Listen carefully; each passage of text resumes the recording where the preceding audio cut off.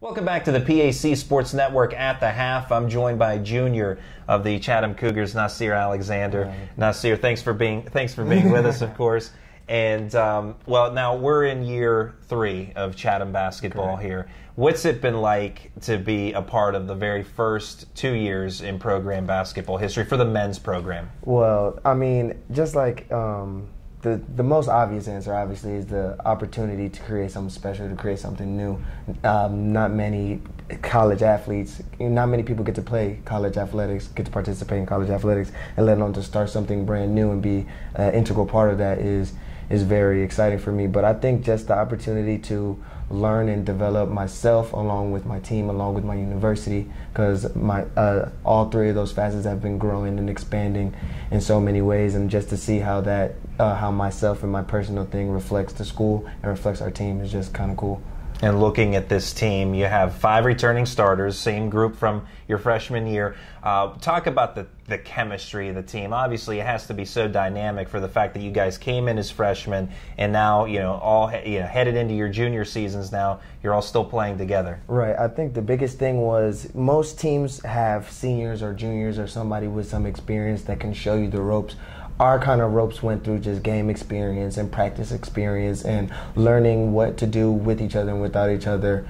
through actual games. And I think that our first two years was a lot of, our first year was a lot of just learning college athletics itself and the difference from high school. And our last year was more of learning how to play with ourselves. That's why we increased our wins and stuff like that. So I think this year is more of solidifying our role as leaders um, on the court for not only ourselves but for younger guys because those guys are going to be just as integral part of our continued success as we are.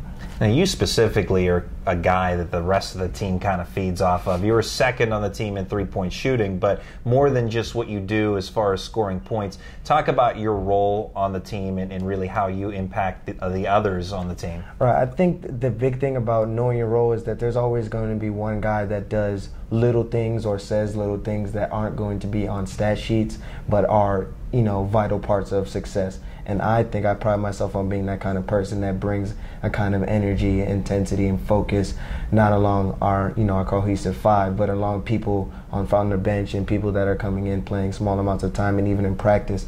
All of those times are just important to winning games and being successful and cultivating our program. And i kind of wanted to have that kind of effect that even if i'm not making all of the things i need to do on the books off the books i'm doing just as much as we can to win you hail from Kissimmee, Florida, had an opportunity. You were accepted at Central Florida University of Miami, among other schools. Why did you come all the way to Pittsburgh for Chatham University basketball? Um, well, luckily, I was uh, blessed enough to receive um, a full ride scholarship from here academically, so that made my my choice a lot easier. But I've had those same kind of academic things for those schools.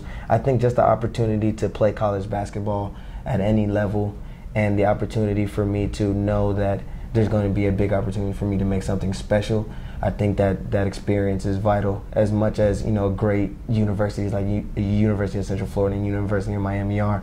Just the opportunity for me to have an effect on the university instead of the university having an effect on me. I kind of wanted to take that chance. And you could have been a walk on at any of those other universities, but uh, the Division three experience it sounds like it suits you quite well. Yeah, yeah, it's definitely that balance of academics, which is you know what allowed me to come here, which you know opened the door for me to play at this school and then athletics which is obviously what you love you spend time with developing your craft. I think that balance for me is just something that i need and that's something that works for me very well.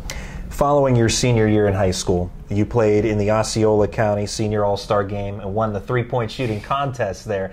Tell us about that experience what that was like for you. Um, I, it was funny because um, my team was lucky enough to go to the state championship that year. Uh, we were state runner-ups so it was a very successful season, and then just to have that kind of event for us, you know, especially as seniors that you know are getting ready to go to college or to different athletic programs or anything like that, just to have that kind of closing and to have that fun, just to you know put on what you know I've been doing for the whole season for competition, just to have some fun.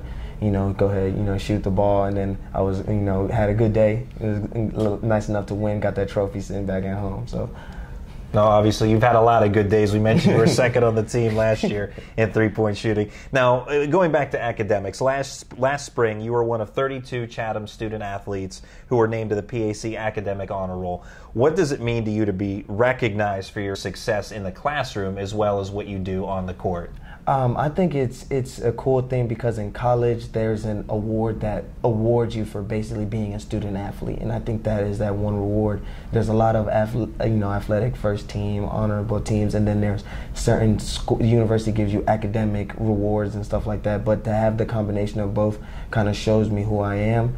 That I you know I want to excel in both athletics and academics, and that award just validates me to know that I'm on the right path to doing so.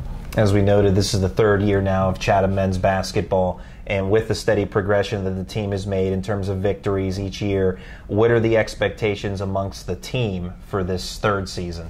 Um, I think that the expectations for us is the the usage of you know we're in brand new program. For others might still be there but i think that we want to this year we want to eliminate that. We want to you know solidify ourselves as a you know a pac you know we want to obviously shoot for the stars shoot for pac championships but the very bare minimum is to improve be better than last year.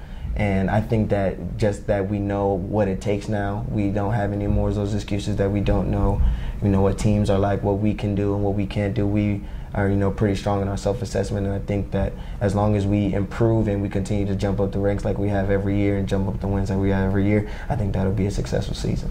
You're just a junior yet, so you still have another year right. both in the classroom and on the basketball court. But um, you're an exercise science major. Tell yes. us about what you hope to do in the future once you do graduate here um, from Chatham. Currently, I'm on a track to do physical therapy and that um, I just, if I can, possibly, if I can't do that, I would like to do some type of athletic training or something to stay in the athletic realm because I think that the athletics has pushed me to a place to get this far, and I think it's going to push me so much further as a motivation for me in class and outside of classroom, and I can't really truly see myself without it. So that's kind of the path I'm thinking about right now.